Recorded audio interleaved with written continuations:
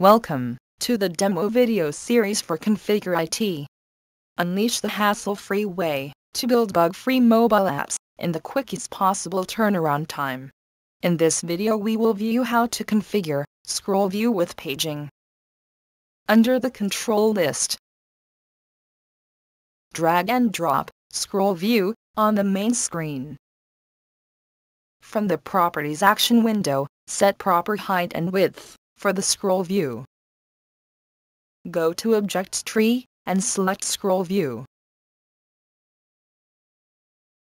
And enter that select view one of the scroll view to change the height and width, if required. Moving forward, click on Control List. Drag and drop Image View Control on the scroll view. In the Properties action window, set desired coordinates, height and width. Again go back to the control list, and drag and drop the image view control on the scroll view. And in the Properties action window, set its height, width and coordinates. Add another image view control from the control list on the scroll view. And set the coordinates, height and width from here. Select the image view and in the Properties action window, select Image. And from the available options select Background Color. Again select Second Image View, click on Select. And select Background Color. Now, select the third image view, and in the Properties action window, select Background Color. Moving forward. Under the Object Tree, select the Scroll View and from the Properties action window, click on Paging Enabled. From the control list, drag and drop Page Control on the main view.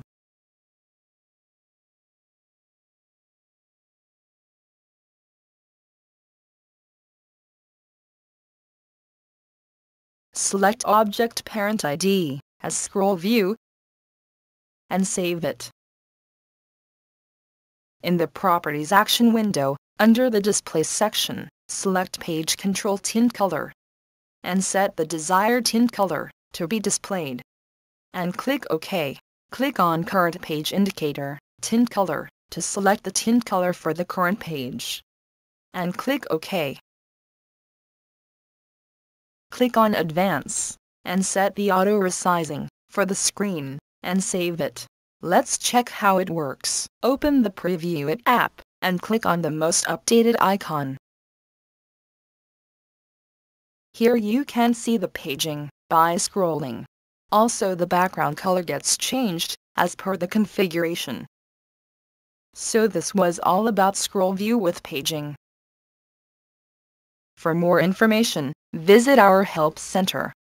Stay connected via support ticket portal or live chat where our support team will assist you. Keep configuring. Thank you.